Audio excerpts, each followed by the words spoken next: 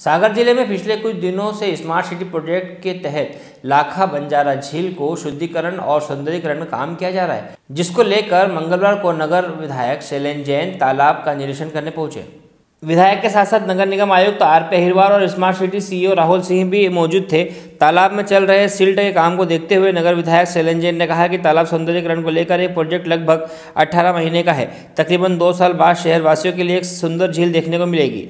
इस झील के किनारे करीब 16 घाट बनाने का प्रोजेक्ट भी है। बहुत जल्द इसका काम भी पूरा किया जाएगा। अभी फ़िलहाल शहर की नालियों के गंदे पानी को शिफ्ट करने की भी प्रोसेस जारी है। इसके अलावा तकरीबन बीस डंपर और दस क्रेन लगाकर सल्ट निकालने का काम किया जा रहा है। सागर से अनिल वर्मा के साथ सलमान कुरैशी की रिपोर्ट।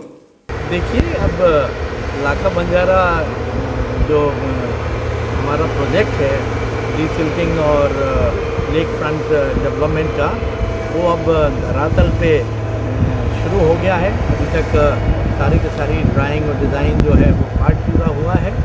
और अब धरातल पे काम हम लोगों ने शुरू कर लिया है। आपको दिख रहा होगा कि बड़ी संख्या में डंपर लगे हुए हैं, हाइड्रा मशीनें वही सब एक्सपोवेशन मशीनें लगी हुई हैं और लगभग पॉइंट नाइन मीटर जो है हमें डिसिल्ट करना है और डिसिल्ट करने के साथ साथ ये जो 41 नाले हैं जो पूरे के पूरे शहर के गंदे पानी को लेके आ रहे हैं, उस पानी, उस गंदे पानी को तालाब में जाने से रोकने के लिए तालाब के पेरीफेरल अलोंग द लेक एक पाइप हम लोग डालेंगे। उस पाइप के माध्यम से उस गंदे पानी को पंप करके बाहर फेंकेंगे हाइड्रोलिक गेट के थ्रू और वहाँ पे एक एसटीपी लगभग फोर एम का एसटीपी सीवर ट्रीटमेंट प्लांट जिसको कहते हैं, जिससे पानी का शुद्धिकरण करेंगे।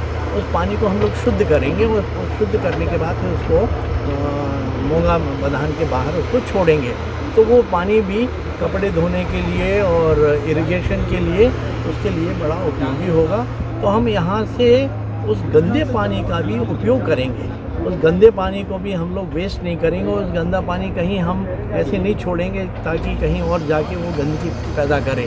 उसको ट्रीट करके उस पानी को आगे भेजेंगे। और तालाब के फेरी फेरी में 16 घाट बनाने का प्रावधान इसमें किया गया है। हेलो फ्रेंड्स आप देख रहे हैं हमारा channel S W twenty four news हमारे सारे वीडियो सबसे पहले देखने के लिए आप हमारे चैनल को सब्सक्राइब करें और पास में लगे बेल आइकन को दबाना बिल्कुल भी ना भूलें।